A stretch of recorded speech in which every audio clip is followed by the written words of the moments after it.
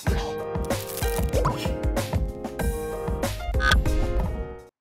everyone, welcome to favorite YouTube channel, my project ideas. Today we're going to make a C++ project on the topic student report card. Let's see the requirements. We have an IDE for running and compiling the source code. We have a text editor, then we have an operating system.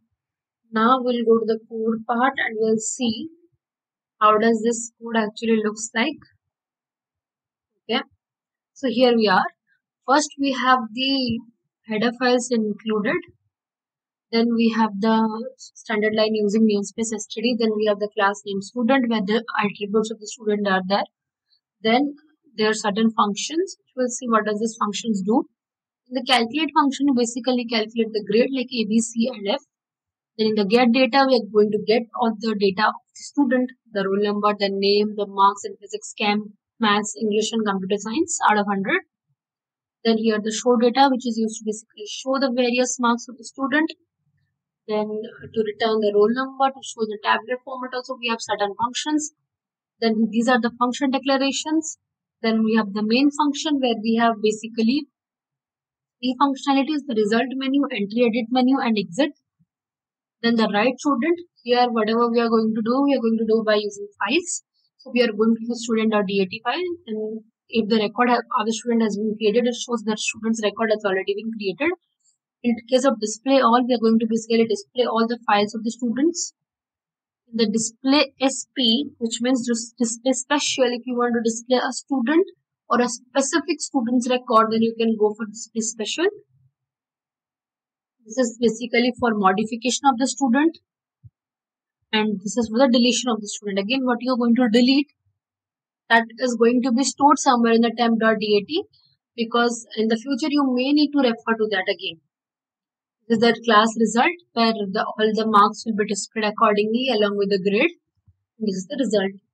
So what do you want to do? You want to go to the class result or student report card or you want to go to the main menu. These are basically all the functionalities that we are going to do. Got it? So now let me run it and show it to you. Is there any passcode and stuff? Just have a look because if we need to have it, so the I, don't think there will be any passcode. I don't think so. We'll see. Let's see. I've run it.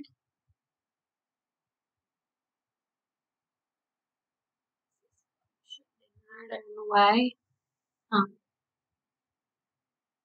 When you have various programs installed on your computer, sometimes you get this student report card entry edit uh, let's create.